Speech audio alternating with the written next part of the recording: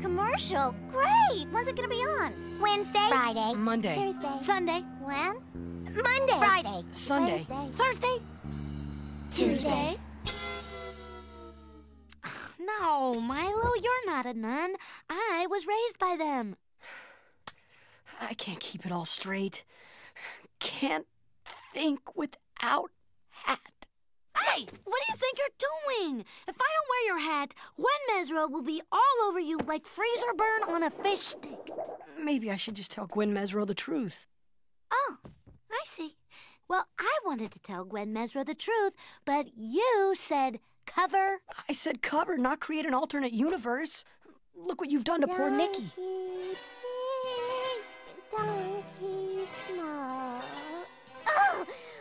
I say auto harp? I hate the auto harp. It's, it's, it's just a layman's clavichord.